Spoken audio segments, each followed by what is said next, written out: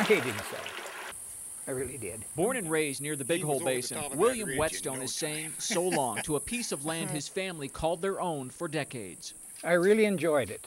I really enjoyed coming up here and whether I just sat here on the step or whether I hiked around, I was, there was always something new to see. The deer, the elk, bear, and moose. The 367 acre parcel includes a hunting cabin William and his sons built by hand that survived the 2000 wildfires. This door was in the house that my grandfather built before 1900 down on his homestead there in Sula. The views are grand, but the bigger public picture is just as impressive. The reason why this property was so special, it, it was surrounded by state forest and other public lands. At an elevation of 5,500 feet, the land supports the highest density of wintering elk in the Bitterroot Valley at about 1,000 animals.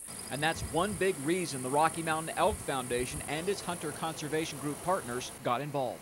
If the land is developed and, and broken up into housing and residential subdivision, um, the impacts to the surrounding lands can be quite, quite severe, both from um, just the activities that the residential development brings, but fire danger, the ability to manage for the elk, the ability to hunt. While Wetzsteon could have made 20 to 30 percent more money from other parties, he didn't want to see the land subdivided. Anybody can come up here now. It, it's uh, public property.